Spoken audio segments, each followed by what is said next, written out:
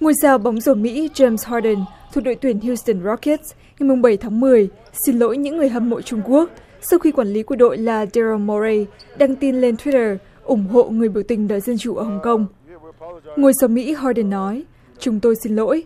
Quý vị biết đó, chúng tôi yêu trung quốc. Chúng tôi muốn chơi bóng rổ ở đó. Cá nhân cả hai chúng tôi tới trung quốc một, hai lần mỗi năm. Đó là tình cảm quan trọng nhất. Chúng tôi trân quý trung quốc như một trung tâm fan hâm mộ chúng tôi yêu thích mọi thứ ở đó, và chúng tôi trân trọng sự ủng hộ của họ dành cho cá nhân chúng tôi và đội tuyển của chúng tôi. Quý vị biết chúng tôi yêu mến quý vị. Quản lý murray đã xóa tin đăng trên Twitter và đăng lời xin lỗi sau phản ứng từ ông chủ đội bóng rổ rockets, tillman fertitta. Giữa lúc, câu lạc bộ này đối mặt rủi ro, mất đi một trong những thị trường béo bở nhất của hiệp hội bóng rổ quốc gia hoa kỳ.